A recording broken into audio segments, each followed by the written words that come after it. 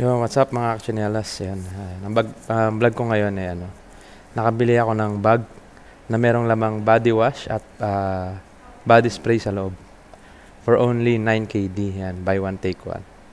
Ang uh, brand niya ay Ted Baker. Yan. Sa Boots ko siya nabili, sa Boots Boots Pharmacy. Yan, pakita ko sa inyo mga kachinelas ha.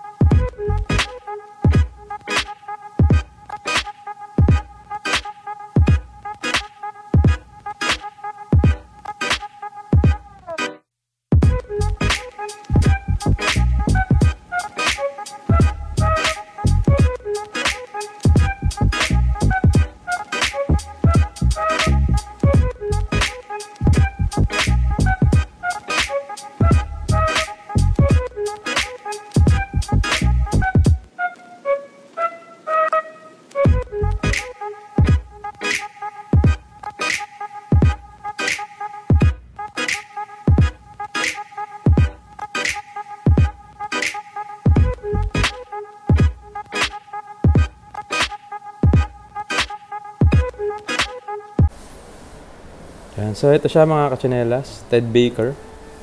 For only 9 KD. Dalawa na yung bag. Maganda yung brand. Mas maganda yung quality ng bag. Leather siya. Leather bag. Tapos, pag binuksan mo siya sa loob, meron siyang lamang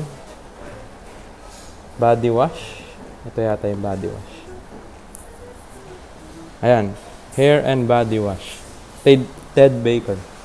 Ayan. Brand from London pa siya. Kaya quality talaga yung brand na to. Ted Baker.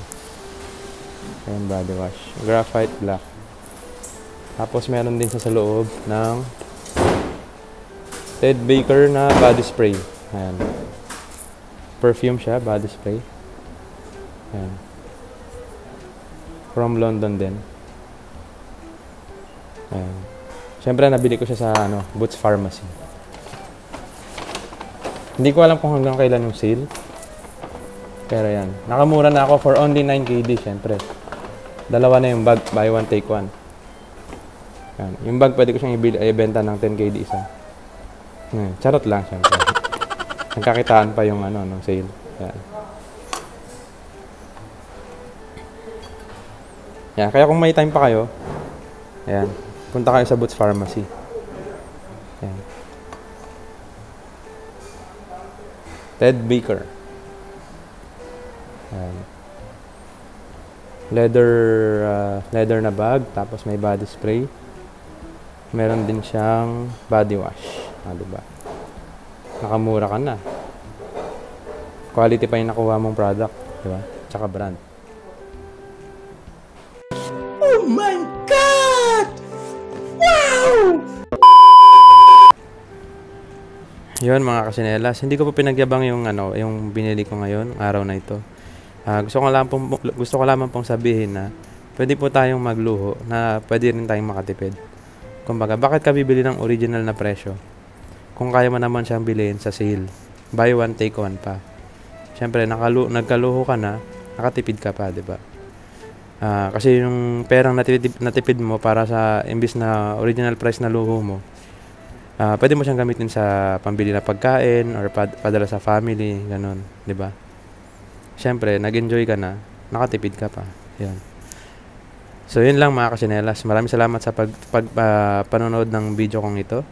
Sana nat, may natutunan kayo sa aking video na ito.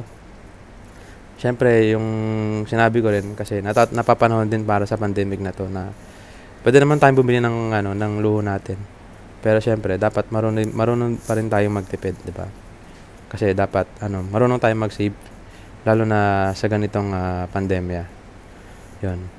Yan, maraming salamat mga kasinelas. Sana, ano, kung hindi pa kayo nakapag-subscribe sa aking channel, please click the subscribe button and hit, hit the notification bell para lagi po kayong updated sa aking mga susunod na mga videos. Yan. Maraming salamat mga kasinelas. Stay safe palagi.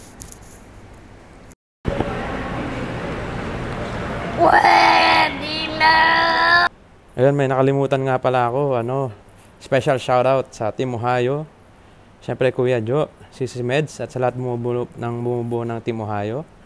Kaangkan, yan, siyempre sa napakagandang admin, pinakamagandang host sa Balat ng Chinelas, Tita Gay. Jowarot Family, na bumubuo nila kapatid Mariposa Vlog, Jing Magnaye, at sa lahat. Ah, WH Road to Reality, ang admin, si Tatay Alvin Bulay. Ah, Team Mengay, syempre kapatid Melody Talagtag at uh, Seth Wairam.